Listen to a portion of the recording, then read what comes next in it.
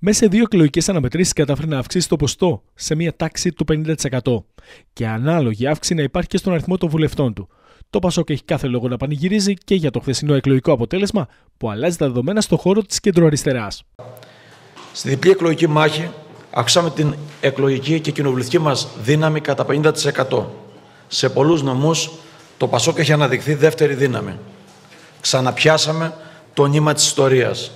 Ενώνουμε τις αγωνίες, τα όνειρα, τις ελπίδες μας με τους προοδευτικούς δημοκράτες πολίτες. Δεσμεύομαι προς κάθε Ελληνίδα και κάθε Έλληνα ότι το ΠΑΣΟΚ ως ισχυρή προοδευτική δύναμη θα σχίσει τη βαρύ και αξιόπιστη αντιπολίτευση. Πλέον η Χαριλάου Τρικούπη μπορεί να μιλά ανοιχτά για τη διεκδίκηση ενός ρόλου κεντρικής αντιπολιτευτικής δύναμης απέναντι σε μια ισχυρή Νέα Δημοκρατία. που με την ψήφο τους στήριξαν το ΠΑΣΟΚ. Απόψε όλοι μαζί κάναμε ακόμα ένα βήμα στην σταθερή, στα σταθερή ανωδική μας πορεία.